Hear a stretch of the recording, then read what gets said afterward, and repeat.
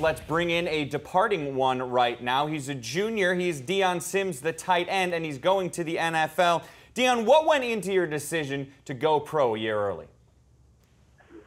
Uh, well, you know, I was just I had a, a discussion with my family, and I just thought that it was the best decision for me. Um, I have a daughter as well, so I was uh, just looking forward to taking care of my family, and uh, I just I'm just ready to take my talents to the NFL.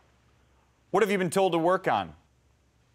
Uh, I mean, it's a lot of stuff I have to work on. Um, you know, my game is not perfected. It's never going to be perfected. So uh, pretty pretty much everything. Um, but but I've been focusing more on my speed and uh, you know quickness. Let's turn to the Spartans. What was the reason the offense struggled this year? Uh, I think it was the youth.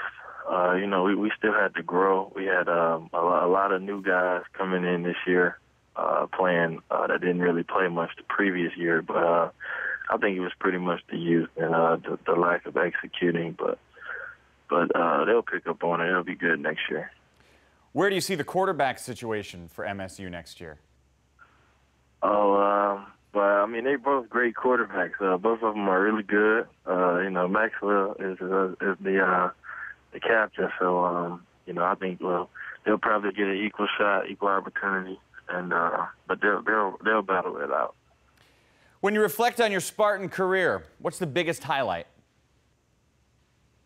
Uh, you know, just just camaraderie, uh, just building a relationship with those guys. Uh, you know, those are my brothers, and, and you know, just coaches uh, bringing me up and, and taking me in and uh, teaching me to be more of a man and uh, a better player, a student of the game and uh, you know I had some some good times. You know, the game against Notre Dame and uh, Wisconsin was uh, some some very special moments. Dion Sims, Spartan tight end. Good luck in the upcoming NFL draft. Thanks for the time, man. Thank you, sir. Thank you for having me.